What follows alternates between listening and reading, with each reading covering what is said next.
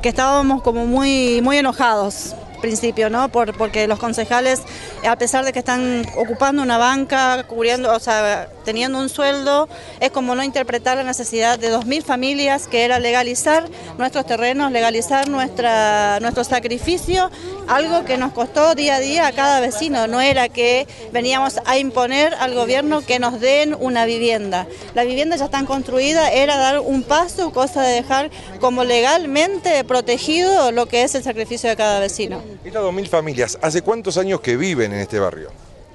El barrio comenzó allá por 2009, cuando en realidad eh, había mucha problemática de lo que es la parte económica, que todos lo sabemos.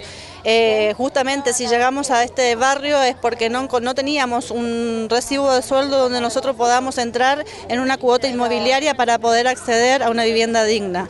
Pero hoy, a pesar de todo, en nuestro barrio hay viviendas hermosas hechas de materiales porque la mayoría se dedican a la construcción pero no tiene, al no tener un recibo de sueldo nos deja fuera del mercado inmobiliario. Pero entonces esto hizo que nosotros tengamos un lugar donde vivir para que podamos eh, estar contra, más tranquilos. Eh, hablamos de 2.000 familias, las situaciones son dispares, digo, ¿hay algunos que fueron estafados? Es verdad, la parte de la, sobre todo en la parcela de la 319, que anteriormente el año pasado eh, también fueron beneficiarios de la ley de expropiación, así que esos vecinos eh, realmente fueron estafados con cuotas que decían ser los dueños y resulta que no son. O sea, fueron estafados, fueron amenazados, fueron violentados. Hay cosas que, que tienen mucho, mucha historia en nuestro barrio, a pesar de que muchos morenenses tal vez no lo saben pero nosotros el barrio lo construimos entre los vecinos.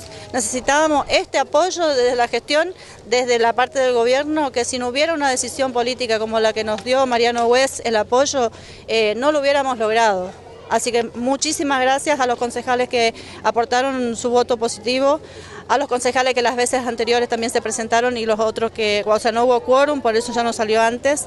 Así que la verdad, muy agradecida porque no estamos hablando de alguna ideología política, estamos hablando de techos para 2.000 familias donde hay chicos, donde hay personas discapacitadas, donde necesitamos estar tranquilos y no pedimos tampoco que aún así la municipalidad nos regale los terrenos, sino que estamos dispuestos a sentarnos a dialogar y poder pagar eh, cuotas accesibles que nosotros podamos llegar a ser propietario de las tierras.